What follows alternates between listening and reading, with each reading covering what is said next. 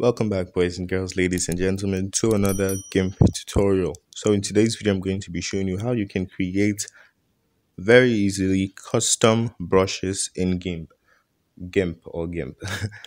so without any further ado, let's get into the video.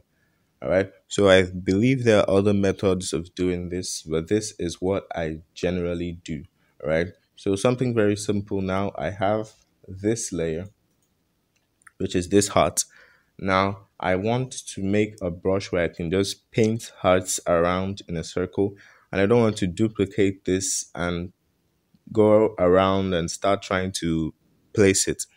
So what I do is I go into, I select the rectangle select tool and I copy everything here. And since this is transparent, this should work.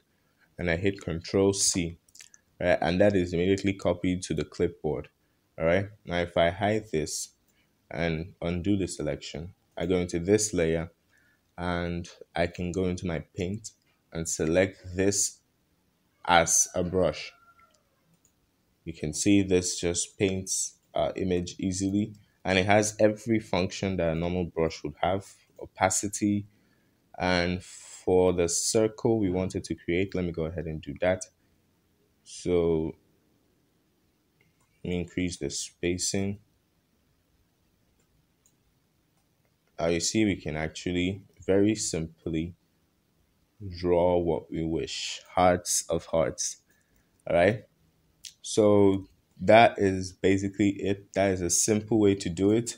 Uh, if you know any other way to do it that might be simpler than this, go ahead and drop a comment in the comment section below but this is the way I normally do it. So, if you like this video, consider subscribing. Um, if there is any video you want to see, do well to leave a comment in the comment section below. And that is basically it for this week. Thank you guys so much for watching. I'll see you next time.